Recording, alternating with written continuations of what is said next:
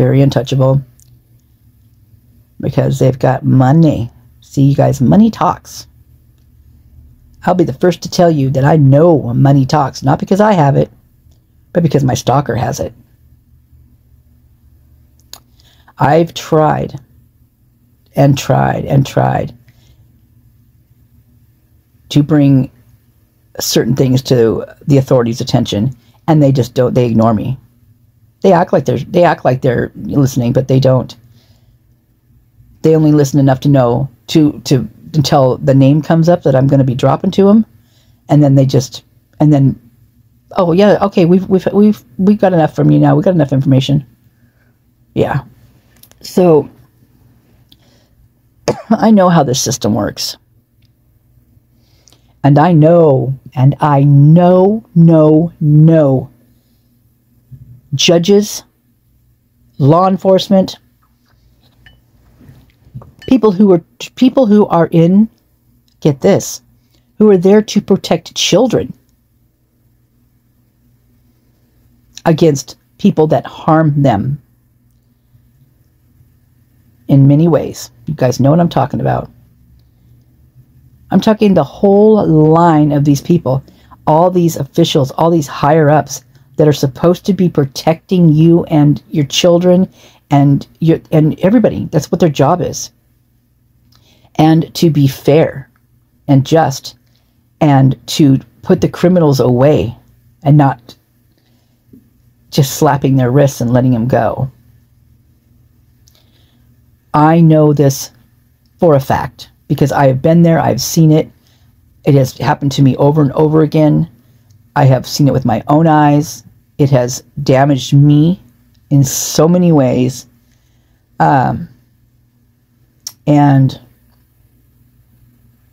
I didn't think this video was going to go down this road, so I may have to even make another video of the quest, which I probably will do right after this one because I can't make them too long. They're not uploading in a I don't know what's going on, but they're not. They're it's having they're it's been having issues ever since I started poaching poaching poaching. uh, ever since I started posting the um, well the ones about Kopacka actually. That's when it started, and then it got really bad when I started doing the Sigma Chi. So, what does that tell you? and you do know that my um, which ones were taken down. So my my so you got the Ashlin Couch one up right now. So the Joshua couch one was taken down. Like literally like gone. Like you can't I can't even go in and view it. I can't do nothing. And the other one is the Kopacka one with a certain person's name in there. You know, who was in that red car. yeah, that one. So I'm a little more careful with how I put things out, like in videos. Like if I'm being um, elusive, there's a reason for it. Like if I'm just popping a photo in there, pause it and find it because it means something. Everything I put in my videos means something.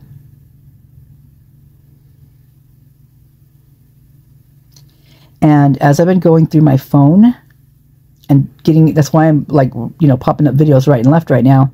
It's because I need to get some room on my phone. But every time I go in there, I find something I forgot I had or I don't remember even having. Like what I just recently found. It's a car. Whew, and I'm just blown away by this one. So I've already, that one's already ready to be put up on it's on YouTube, but it's not to public yet because I need to actually make another video off of that to where I can talk into it and it sounds better. If I just talk into the phone when I'm recording, it doesn't sound as good. So I'll upload them to YouTube and then I'll record them from there and then pause them in the parts that I want to talk where you can where it sounds so much better that way. So this is a lengthy process, you guys. I don't know.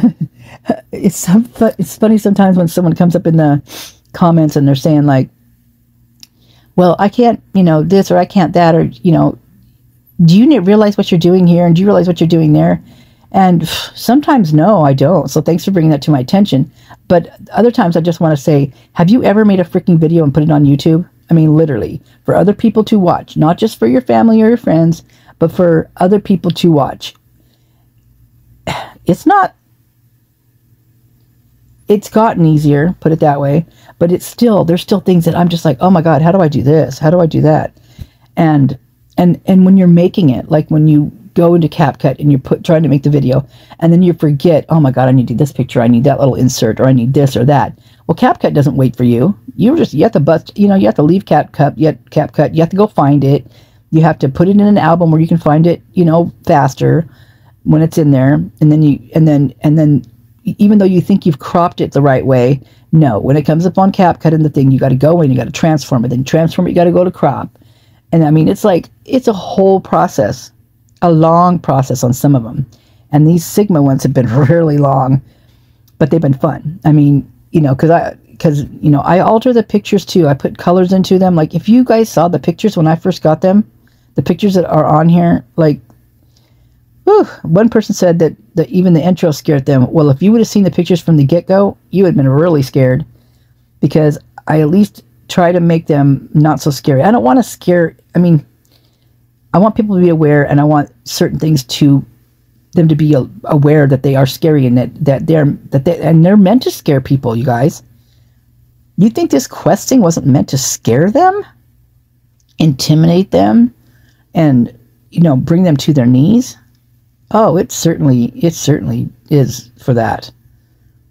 I mean what do they say? They break them down to build them up so is this some kind of mind control really you know, in a way, it really is, right? It's a mind control. They break you down, take away who you are, your identity, what you ha- what you know to be right, and then they revise you. They build you up. They break you down to build you up. So they break down your entire, and this is what I'm seeing. Your individuality, you as who you are, that in the now, they break that all down to where you're just a pile of mush, cowering in a corner, and then they build you up to who they want you to be. And at this point, you may already be a killer. Or have witnessed it, been part of it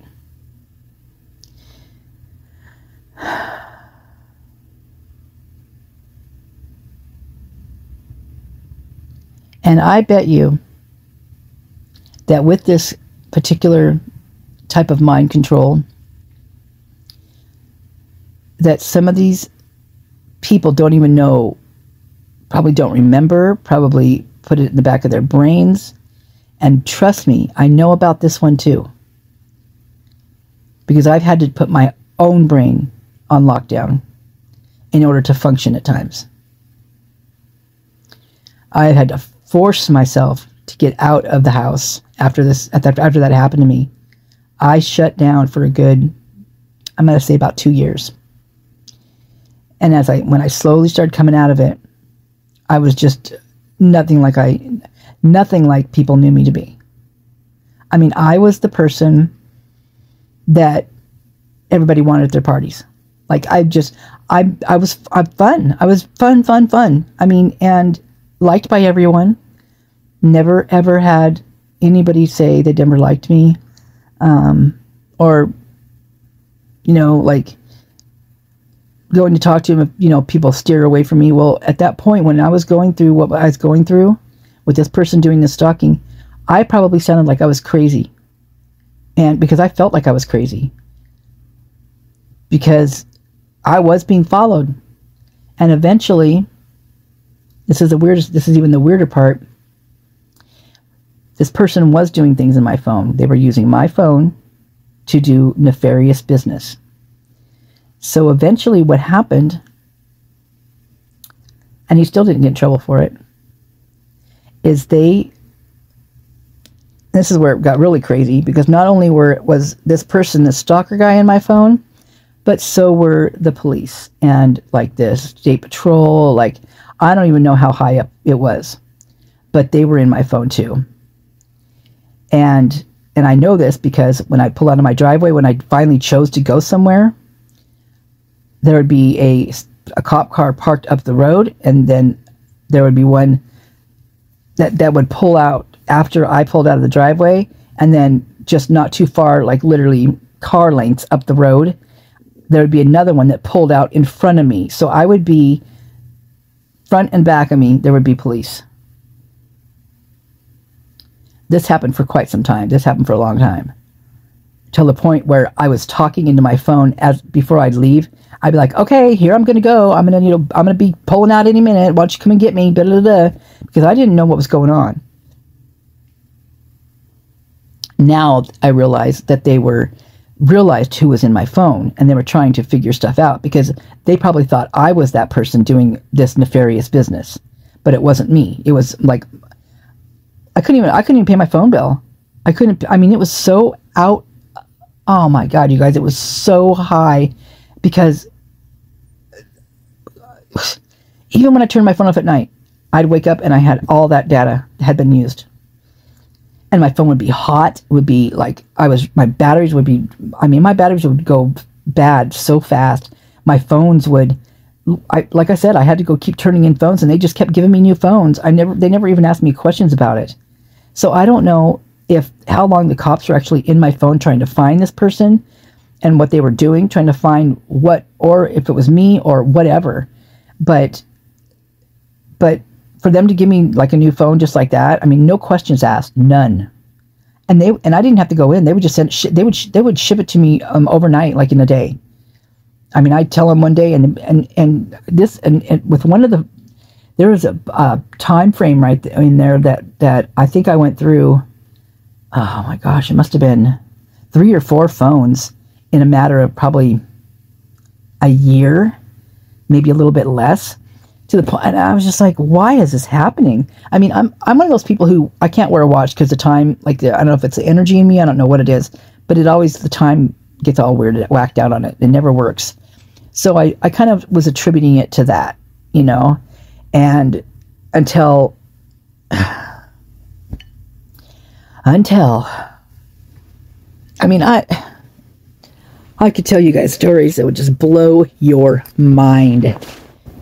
So when this case came up, before I even knew about the stalking part of it, it was in an area where I grew up, right? Sorry, I just my jacket's a little cold in here. Um, and so that was intriguing to me. And then as I just started listening to this case, I was just like, oh my God. And hearing about her stalker really set me spiraling there for a little while uh, until I gained my footage, my ground, and jumped in. Jumped foot first, feet first, head first, all of my body first into this case.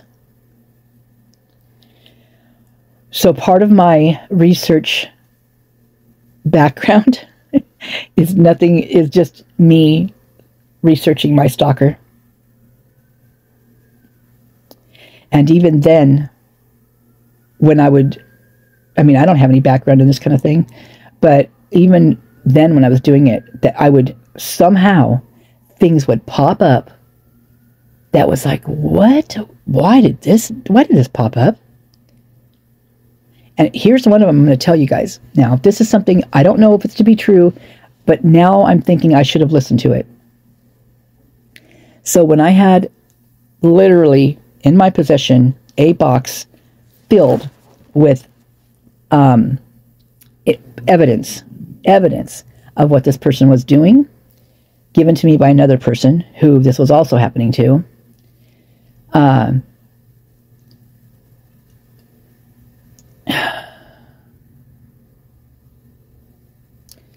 thinking maybe I shouldn't go down that road yet. Hold on. Okay, I'm going to do it. Um, when I turned that evidence in, which took me everything I had in my body to do that. In fact, I was scared out of my mind because I did not know who to trust. Because at this point, I'm trying to get to people that I knew on the police force. And one of them, I used to run a karaoke in this one place, right? and one of them was one of the cops, who now was really high up in the in the in the um, system. Used to come in so all the time, so I knew him very well, and I really liked him. And he's also a country singer. yeah, yep, country singer. Has his own album and everything. And I called him. I brought the information to him. And when I talked to him on the phone, he said, he told me the steps to take. And if that's what I did. But when I took these steps, it didn't feel right. Something was very wrong in what was happening. And uh, it scared the did oh it scared me really bad. It scared me so bad. I was i pro- i mean i almost i had a literally a mental breakdown that night. I was so scared. I was shaking i mean it took me i don't even know if i slept that night. I don't know if i slept for three days. I mean that's how bad it was getting to the point where i was so paranoid at what was going on around me that i couldn't even sleep and when i did finally sleep i would be out for I mean, you couldn't. Uh, I'm not a I'm not a heavy sleeper, and y- you couldn't wake me up. Um, because I'd been awake for so long, and it was just watching my back. Like I was so paranoid, and I had good reason to be paranoid. Very good reason. I didn't realize I had that good of a reason at that time. It felt like I did, but I didn't know it. I didn't know it till much further down the road. Um, eventually, I got this my whatever up to get into to bring a duffel bag, mind you, full of evidence, literally evidence that if I go into what it was, you'd be like, holy crap. So I got into the cop shop, didn't know, at this point, I'd been up for a couple days, didn't even know how to talk to them. I was just stumbling over my words. Finally, they, uh, they had me wait. I, I gave them the name of the person, you know, the person that I knew, and they looked at me like, what? because this guy's pretty high up. And so they made me wait forever. Oh my God, it sound it felt like it was two hours. Finally, somebody finally I said, well, somebody because they brought they grabbed the duffel bag of stuff and they put it behind the counter, over the counter, right? And they're asking me, is there weapons? I'm like, no. I mean, like like I was the criminal, like I was the criminal, right?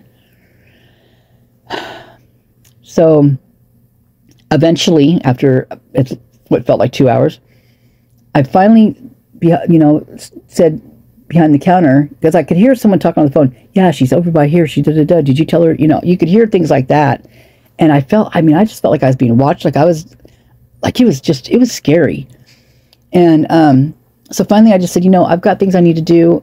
Is is someone going to come out and talk to me? And the, and then the one guy comes back and he says, oh no, um, I'm sorry, but they're not here at, at the moment, right? I'm like, okay, well then I'm I'm gone. Then you guys can just keep that. Whatever, do what you know I brought this in for you guys to do something about. So I left, got in my, just got in my car, was about ready to start it up, and my phone rang. And it was the cop shop. And they're like, oh, so and so detective's here now. Would you mind coming back in? Well, I went to open my car and he was standing right outside my car. Scared the crap out of me. Went back in,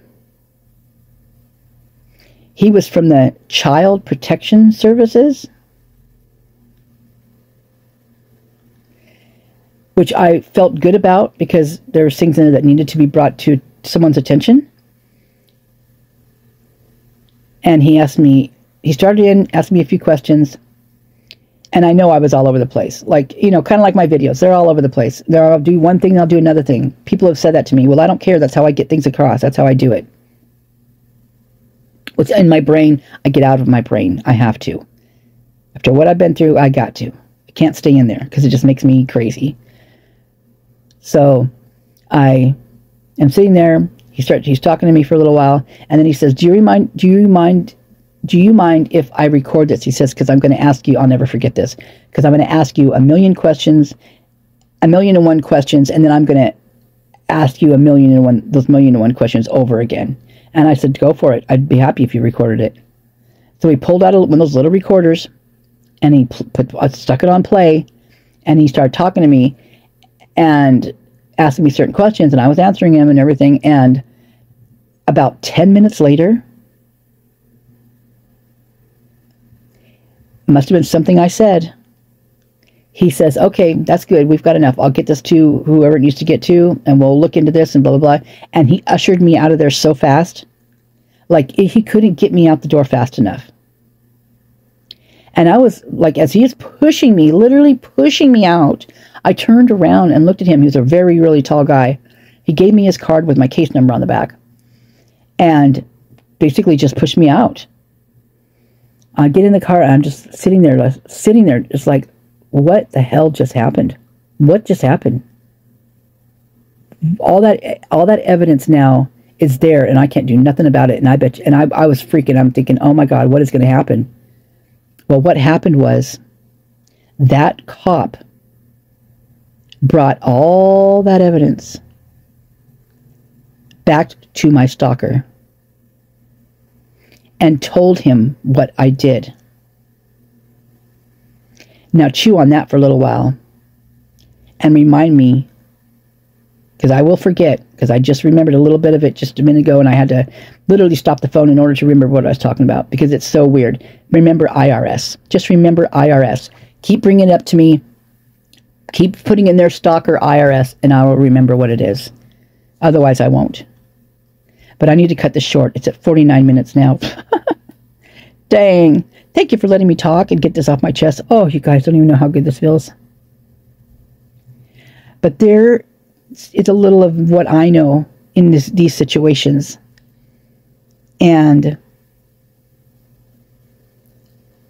that's why if I do more on Kaylee than any other ones, it's because I know in my own way what she was going through.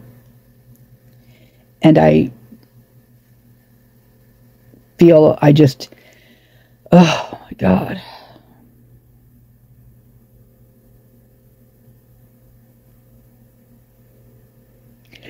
I know her trying to keep her her face on, like when she was at the grub truck, trying to act like nothing was actually happening and protect Maddie. But all the while, you saw her on her phone. You saw how manic she was acting.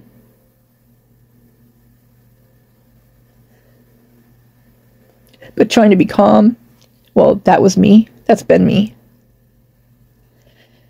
So I get it. That's why when I first saw that grub truck, the first part of it, and then when the the um a full one came out, and it only came out for a little while, and and uh, and then it disappeared. And I was like, oh no, because like you know I couldn't even get I didn't even know about screen recording then. I didn't know any of that stuff, and I was like, oh my god, no, we need that back. And I was just constantly wherever I could put it in the comments into on anybody's stuff, I'd be like, who's got the grub truck video? And then lo and behold, one day it comes back, and I just literally I was on the ground just like praising the gods that that that that had come back. I mean, because that right there, and and I hadn't even gotten a, like barely through it, like a couple hours maybe. I didn't even watch the full thing. Well, that's when I sat down, literally watched it from front to back because I was afraid it was going to disappear again. Still didn't know about screen recordings at that point. Okay. I'm going to go collect myself and I'm going to come back and I'm going to do the actual video that I intended on doing in the first place. oh, Lord. So, um, this is how it happens. And this is me. And this is how you get me. And it's not going to change. It's who I am. And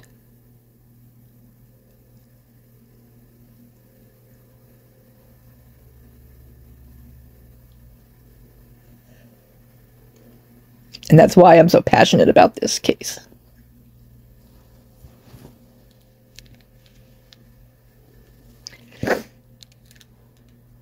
Okay. Thank you for listening. and uh, I will be uh, trying to get to comments. I just really got to get some few more things off my phone. But I know I got to get to them faster than I am because I know they're disappearing. So people with comments that are lengthy, that are long, that they anybody who's had comments disappear that wants to comment and it's disappearing, please copy and paste your comment into like a memo on your phone and save it there. Put in put on it what video you had it in, where it was, and keep posting it. Keep posting it, please. Because obviously what you're saying is important. And I'm not getting to them fast enough. I'm trying. But there's so much. There's so much. And there's so many good comments. There's so much good information in there. And I really do apologize for not getting to them. I, I mean, now what I'm doing, and and of course it's causing it even to be lengthier, but it's good I'm doing this. I think it's a good thing. Is when there's a comment in there that is like unusual that I haven't seen before that makes sense or it's something I haven't heard, I will click on their um, their picture on their username, which brings up a window which shows me other comments that they've made elsewhere on my channels. And oh my gosh, you guys, I'm so sorry, but there's some of these comments that are back in some of the videos that I've never even seen the comments in. So I apologize for that, but I, am getting to you. I'm getting to you. A little slowly but surely, I'm getting there. I mean, I'd have to be up morning, noon, and night 24 7 in order to do this. And I'd have to have another one of me beside me doing it too. And maybe even another one. It's that. Yeah, there's that much. So please bear with me. I'm getting there. Um,